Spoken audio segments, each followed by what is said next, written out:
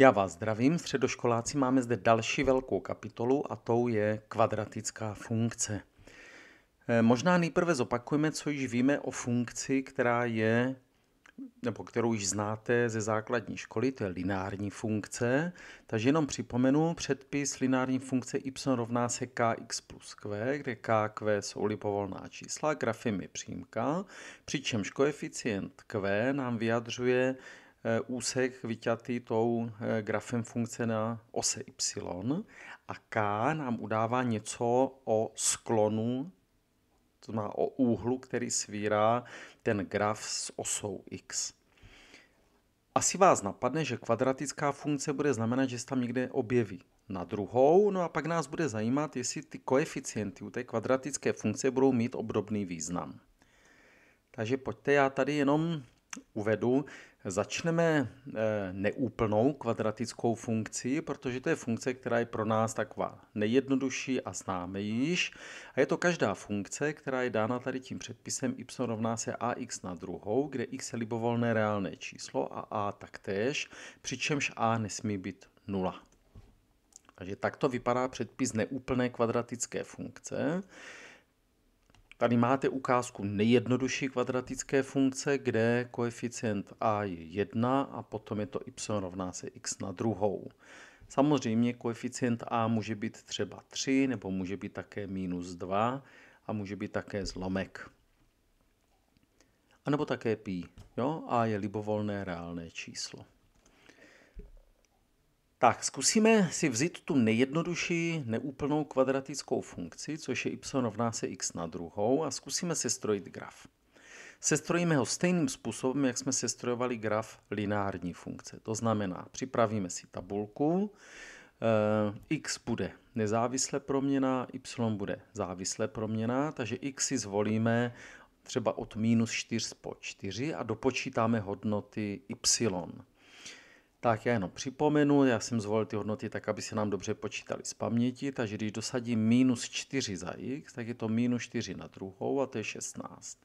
Stejným způsobem bych teď počítal i hodnoty ostatní. Pokud mám takto hodnoty, tak si připravím souřadný systém a vynesu ty body do tohoto souřadného systému. Takže první bod má souřadnice minus 4, 16. Minus 4, 16. Druhý má minus 3. 9. Tak ty další já už teď urychlím, takže třetí minus 2, 4, minus 1, 1, 0, 0 a tak dál, až poslední bod 4, 16. Tak, pokud těmi body proložíme křivku, tak dostáváme křivku, která se nazývá parabola. Toto je graf kvadratické funkce pro tu naši nejjednodušší funkci, a to je y rovná se x na druhou. Můžeme jenom znovu popřemýšlet, tak jak jsme to dělali u eh, všech předchozích funkcí, to znamená, pokud si vezmu jakoukoliv hodnotu x, třeba 2,5, tak přes ten graf funkce jsem schopen zjistit funkční hodnotu, neboli hodnotu té funkce, a to je 6,25 zde. Pokud byste dosadili to 2,5 tady na druhou, tak dostanete opravdu 6,25.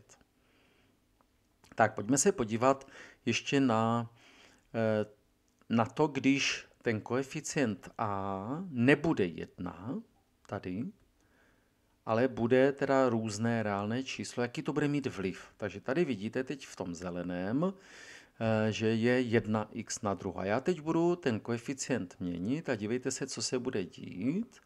Takže vidíte, že když a narůstá, tak se ta parabola jakoby zužuje.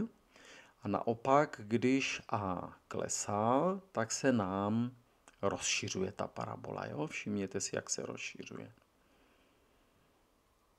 Takže ten koeficient A nám udává, jak moc ta parabola bude rozevřená. U každé funkce určujeme definiční obor a obor hodnot, takže pro tu naši funkci y rovná se x na druhou, já ji zde mám již její graf, který jsme si před chvíli ukázali, tak pojďme se podívat, jak to bude s definičním oborem. My již víme, že definiční obor je množina všech x, pro které existuje jeden, právě jeden bod jo, toho grafu. Takže jinými slovy, z každého bodu grafu já vedu kolmici kose x a dostávám tedy definiční obor, takže vidíte, že je to vlastně množina všech reálných čísel.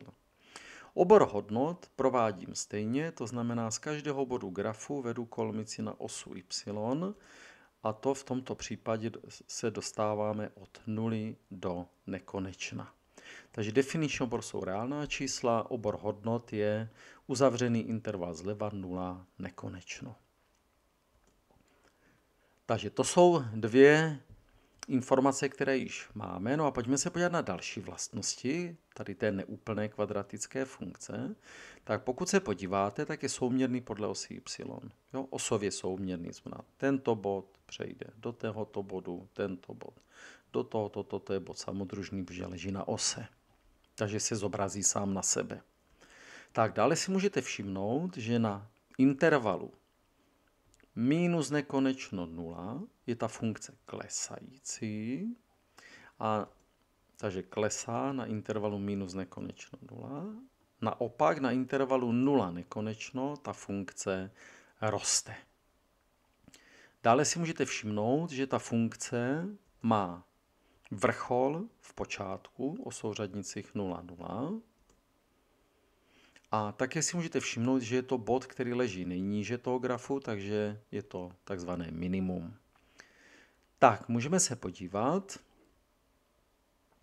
Teď, toto už jsme viděli, že když koeficient A narůstá, tak se zužuje, když klesá, tak se rozšiřuje, ale co když půjde do záporných hodnot?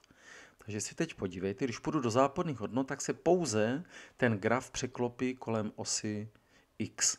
Takže znamenko u toho koeficientu nám udává orientaci, jestli bude vrcholem nahoru nebo vrcholem dolů. Takže pokud a bude větší jak 0 koeficient, tak bude vrcholem dolů. Pokud a platí teda ty vlastnosti, že definiční obor jsou reálná čísla, obor hodnot 0 nekonečno, jsou měny podle osy y, minus nekonečno 0 klesá, 0 nekonečno roste a vrchol má souřadnice 0, 0 minimum, nejnižší bod je v bodě 0,0. Jo, to je současně ten vrchol. Pokud bude A menší jak 0, to jsme si před chvíli ukázali, tak bude vrcholem nahoru. Takže platí definiční obor, obor hodnot jsou stejné, souměrnost je taktéž. Pouze teď klesá kde? No, klesá od nuly po nekonečno, takže si to tady prohodí a roste od minus nekonečna po nulu. Vrchol leží v počátku, to je stejný, a jenom tady to bylo minimum, nejnižší bod toho grafu, kdežto tady to bude nejvyšší bod, takže maximum.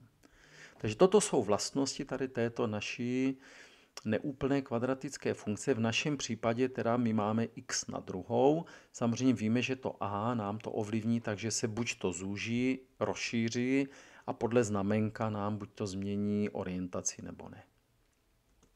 Tak můžeme zhrnout. Takže neúplná kvadratická funkce y rovná se x na druhou, ta nejjednodušší, tak jsme si takto odvodili. No a pokud vezmeme neúplnou kvadratickou funkci i s koeficientem různým, nejenom jedna, ale může být už jakékoliv reálné číslo, tak zde máme tady tyto dvě možnosti, které mohou nastat. Tak to by byl ten nejjednodušší případ. No a příští hodinu si tady přidáme ještě ten lineární člen a ten absolutní člen. A podíváme se, jakým způsobem nám ovlivní ten graf. Takže já se s vámi rozloučím.